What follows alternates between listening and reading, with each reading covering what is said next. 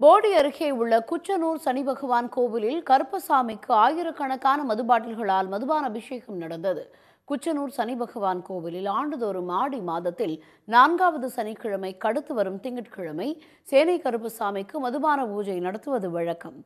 கிராமத்து காவல் தெய்வமான கருப்பசாமிக்கு கிராமம் சார்பில் இருபத்தி மூன்று ஆட்டுக்கிடா வெட்டி பூஜை செய்தனர். பூஜையில் பெண்கள் கலந்து கொள்ள அனுமதி இல்லை. மேலும் மதுபாட்டில்களை பக்தர்கள் காணிக்கையாகவும் வழங்குவர். ஆயிரக்கணக்கான மதுபாட்டில்களை கருப்பசாமிக்கு ஊற்றிய பின் தீபாராதனை நடைபெறும். அப்போது பக்தர்கள் சுவாமி சிலையின் கண்கள் சிவப்பாக இருப்பதாக பார்த்து ஆனந்தமடைந்தனர். இவ்வாண்டு மூவாயிரத்து எண்ணூறு மதுபாட்டில்களை பக்தர்கள் காணிக்கையாக செலுத்தினர். ஆனால் சனி பகவான் கோவிலின் தனி அதிகாரி மதுபான பூஜைக்கு அனுமதி மறுத்து கோவிலை பூட்டிவிட்டு சென்று விட்டதாக கிராமத்தினர் குற்றம் சாட்டினர்.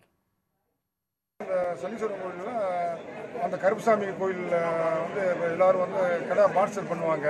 பான்சல் பண்ணி அதுக்கு மதுபானம் வந்து எல்லாமே ஊற்றுவாங்க அது வந்து இரவு வந்து ஒம்பது மணிக்கு மேலே ஸ்டார்ட் பண்ணுவாங்க. இப்போ எக்ஸிக்யூட்டிவ் ஆஃபீஸர் புதுசாக நிர்வாக அதிகாரி வந்து எனக்கும் அந்த கோயிலுக்கு சம்மந்தம் இல்லை. அப்படின்னு சொல்லிட்டு இப்பயே கடையை பூரா பூட்டி கோயிலை பூட்டி வச்சுக்கிட்டு யாரையுமே உள்ளே அலோவ் பண்ணாமல் நிப்பாட்டி வச்சுருக்காங்க. மதுபானம் அதுக்கு வேண்டிய மதுபானங்கள் எல்லாமே வாங்கி வெளியே வச்சுருக்காங்க. ஆனால் வந்து யாரும் உள்ளே அலோவ் பண்ண மாட்டேங்கிறாங்க. ஈவோ வந்து எனக்கு சம்மந்தம் இல்லைன்னு லாக் பண்ணிவிட்டு ஆஃபீஸை லாக் பண்ணிவிட்டு அவர் போயிட்டாருங்க. எட்டரைக்கு தான் இந்த கிராமத்தில் வந்து சரக்கு கொடுப்பாங்க. இப்போ பூரா சரக்கு பூரா வச்சிருக்காங்க.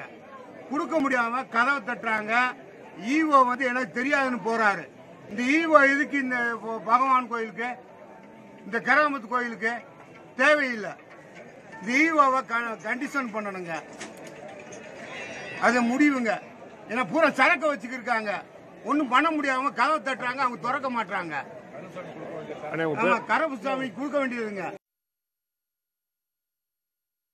பின்னர் அவரை சமாதானம் செய்த பின்னர் விழா நடந்துள்ளது. விழாவின் நிறைவாக இரவு எட்டு மணிக்கு மேல் பூஜை முடிந்த பின் கோவில் நடை சாத்தப்பட்டு பக்தர்களுக்கு ஆட்டுக்கறி அன்னதானம் வழங்கப்பட்டது. உடனுக்குடன் செய்திகளை தெரிந்து கொள்ள சன் நியூஸ் பெல் ஐகானை கிளிக் பண்ணுங்க.